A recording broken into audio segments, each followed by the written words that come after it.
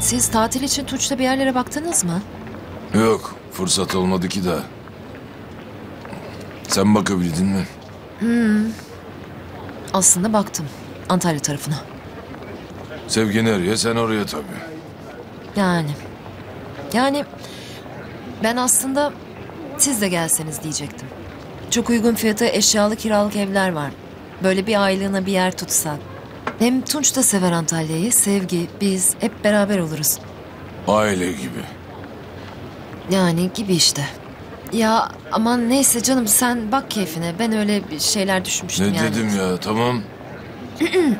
Ben bir şey sormadım varsay. Hakikaten şu an çok şey oldu böyle. Zaten Tunç kazık kadar adam. Bizimle mi tatil yapacak? Canın nereye isterse oraya gidecek. E haklı da. E sana gelsek sen de zaten senin canının ne istediği belli değil ki. Sana sorsam sen de bilmiyorsun yani.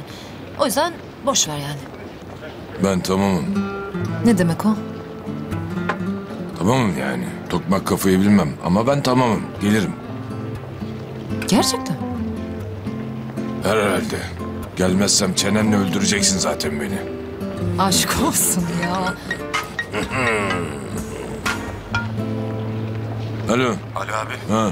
Ne oldu? hapishaneden aradılar. Harun intihar etmiş.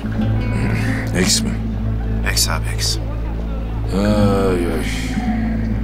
Harun. E ne olacak şimdi?